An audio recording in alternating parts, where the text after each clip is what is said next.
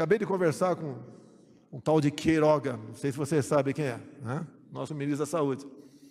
E ele vai ultimar um, um parecer visando a desobrigar o uso de máscara por parte daqueles que estejam vacinados ou que já foram contaminados.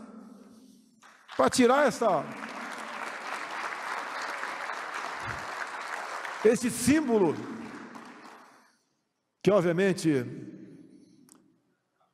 tem a sua utilidade para quem está infectado.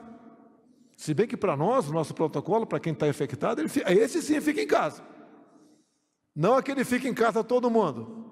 A quarentena é para quem está infectado.